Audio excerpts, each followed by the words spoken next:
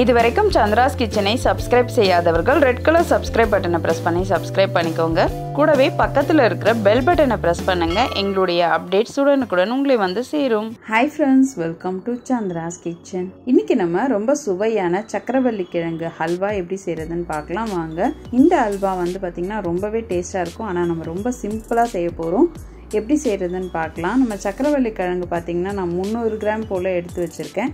நான் குக்கரில் ரெண்டு விசில் வச்சு முக்கால் பாகம் வெந்ததும் எடுத்து மசிச்சிருக்கேன். ஒரு கடாயில் ஒரு ஸ்பூன் அளவுக்கு நெய் சேர்த்துக்கலாம். இது கூடவே நம்ம முந்திரி பருப்பை சேர்த்துடலாம். சேர்த்து நல்லா வறுத்து எடுத்துடலாம். அடுத்ததாக நம்ம வேக வச்சு மசிச்சு வச்சுருக்க சக்கரவள்ளி கிழங்கை இதோட சேர்த்து நல்லா வதக்கிடலாம். இது ஒட்டாத அளவுக்கு நல்லா வதக்கணும்.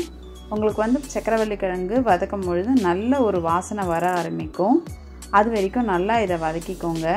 இப்போ இது கூட நம்ம வெல்லம் சேர்த்துக்கலாம். வெல்லம் வந்து பார்த்திங்கன்னா நான் நூறு கிராம் போல் வெல்லம் சேர்த்துருக்கேன். ஒரு ஏலக்காய் சேர்த்துக்கிறேன். சேர்த்துட்டு நல்லா இதை கலந்துருங்க. இப்போ நம்ம சக்கரவள்ளி கிழங்கோட இந்த வெல்லம் சேர்த்து கலரும் போது அது கொஞ்சம் கொஞ்சம் இலகி இந்த மாதிரி வர ஆரம்பிக்கும்.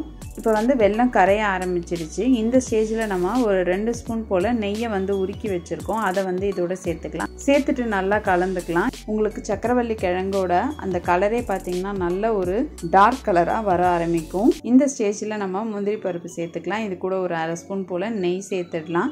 இந்த ஹல்வா வந்து பார்த்திங்கன்னா கடாயில் ஒட்டாத பதம் வந்துடுச்சு. இப்போ நம்மளுடைய சக்கரவள்ளி கிழங்கு ஹல்வா ரெடி ஆயிடுச்சு.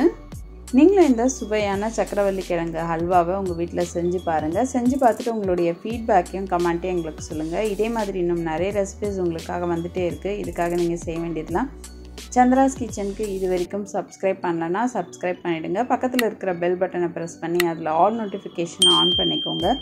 அப்போ தான் நாங்கள் போடுற வீடியோஸ் உங்களுக்கு உடனே வந்து சேரும். நான் இன்னொரு சுவாரஸ்யமான ரெசிபியோடு உங்களை சந்திக்கிறேன். நன்றி வணக்கம்.